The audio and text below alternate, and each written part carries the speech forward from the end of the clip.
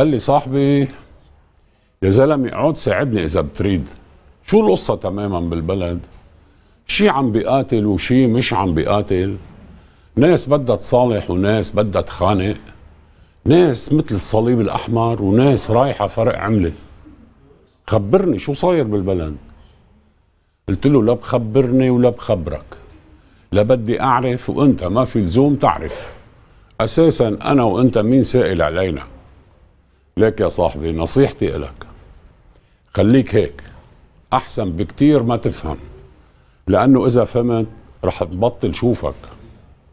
إذا فهمت بتصير تلاقي البلد صغير عليك وبصير بدك تهاجر. خلينا عم نتسلى مع بعض. فهماتنا قد بعضنا كتر خير الله. كان ينقال اللي استحوا ماتوا اليوم عم بيقولوا اللي فهموا ماتوا. هذا رأيي. فكر فيها.